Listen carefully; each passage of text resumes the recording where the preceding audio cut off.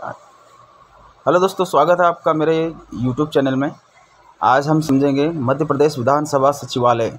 मध्य प्रदेश विधानसभा सचिवालय में सहायक ग्रेड थ्री स्टेनो टाइपिस्ट एवं सुरक्षा गार्ड रिक्त पदों हेतु विज्ञापन आया है, यानी कि इसमें भर्ती आई है।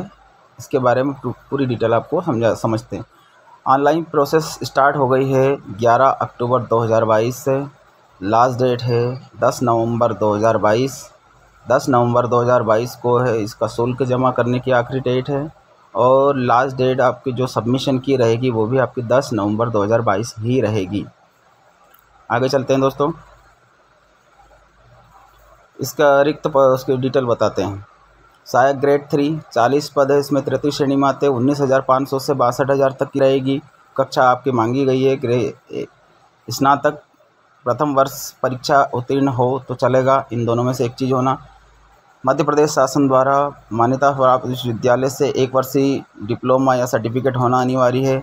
मैप आईटी से सीपीसीटी प्रमाण पत्र स्कोर कार्ड के साथ होना अनिवार्य है। इनमें से जो जो भी जो अथवा में दिए हैं, वो होना अनिवार्य है। ध्यान रहे दोस्तों, आगे चलते हैं। कंप्यूटर पर हिंदी टाइपिंग लेखन, तीन सौ शब्दों का दस मिनट की अवधि की कौशल परीक्षा ली जाएगी। आगे बढ़ते हैं।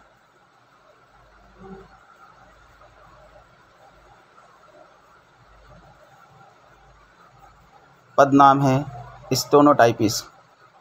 स्टेनोटाइपिस दो पद है तृतीय श्रेणी में आता है, उन्नीस हज़ार पाँच सौ से बासठ हज़ार तक का आपका जो है ग्रेड पे रहेगा। इसमें भी बारहवीं मांगा है। एवं इसके अलावा विश्वविद्यालय से स्नातक में एक वर्षीय प्रमाण पत्र होना, अनिवार्य इन दोनों में से एक चीज़ होना और शासन द्वारा विश्वविद्यालय से मान्यता प्राप्त संस्था से एक वर्षीय डिप्लोमा या प्रमाण पत्र होना मैप आई आई टी से सी पी सी टी प्रमाण पत्र स्कोर कार्ड के साथ होना, किसी मान्यता प्राप्त मंडल से हिंदी लेखन स्टोनोग्राफी में प्रति मिनट अस्सी शब्दों का गति से आपके पास प्रमाण पत्र होना अनिवार्य है। कंप्यूटर में पाँच मिनट का अस्सी शब्द प्रति मिनट गति से दस मिनट की अवधि में टंकित करना अनिवार्य होगा।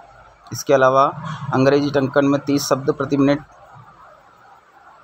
की 150 शब्दों की होगी, जो ऐच्छिक रहेगी आपकी। आगे बढ़ते दोस्तों, इसके बाद में जो है अगला पद, सुरक्षा गार्ड। इसमें तेरह पोस्ट हैं। तृतीय श्रेणी में आता है। उन्नीस हज़ार पाँच सौ से बासठ हज़ार तक का रिक्त पे आपका जो है ग्रेड पे रहेगा। इसमें भी बारहवीं मांगा है। प्रथम वर्ष होना अनिवार्य है अगर अथवा में तो वैसे तो ट्वेल्थ में से काम हो जाएगा आपका। लेकिन इसके अलावा इसमें एक और चीज़ दी गई है। पुलिस विभाग में कांस्टेबल के लिए विहित स्वास्थ्य एवं शारीरिक मापदंड जो तय किया गया गवर्नमेंट के द्वारा, वो दे रहेगा। 18 से 40 साल की अवधि रहेगी। एक एक 2022 को आप 18 वर्ष के कंप्लीट होना अनिवार्य है। अनुसूचित जाति, अनुसूचित जनजाति के लिए जो सामान्यतः पाँच वर्ष का आयु सीमा रखा गया है, वो आपको दे रहेगा। अगर आप विक्रम पुरस्कार से प्रमाणित है तो उसका प्रमाण देना होगा। इसके अलावा चलते हैं दोस्तों, जाति प्रमाण पत्र। ऐसे अभ्यर्थी S T S C O B C के लिए जो नॉन क्रीमिलियर में आते हैं, उन्हें अपने जाति प्रमाण पत्र प्रस्तुत करना अनिवार्य होगा। इसके अलावा, अनुसूचित जाति, अनुसूचित जनजाति के वैवाहिक महिला अभ्यर्थी के अपने नाम के साथ पिता का नाम लगा जाति प्रमाण पत्र प्रस्तुत करना होगा अदरवाइज़ आपका जो फॉर्म है, वो रिजेक्ट माना जाएगा। आय प्रमाण पत्र नॉन क्रीमी यानी कि प्रमाण पत्र देना होगा अदरवाइज़ फॉर्म रिजेक्ट माना जाएगा। आगे बढ़ते हैं दोस्तों। यह आय प्रमाण पत्र का डिटेल है पूरा। आप ऑफिशियल वेबसाइट पर जाकर के इसे आप देख भी सकते हैं। चलिए, आगे बढ़ते हैं।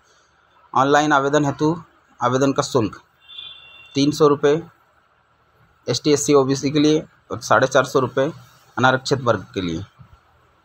इसके अलावा आपका जो है ऑनलाइन वस्तुनिष्ठ परीक्षा एग्ज़ाम कैसे कैसे उसमें होगा। वस्तुनिष्ठ परीक्षा का आयोजन किया जाएगा। वस्तुनिष्ठ परीक्षा पचास अंक, कौशल परीक्षा पचास अंक, साक्षात्कार पंद्रह अंक और ऑनलाइन परीक्षा, वस्तुनिष्ठ परीक्षा प्राप्तांक के आधार पर विज्ञापन के पदों में दस परसेंट रहेगा। यह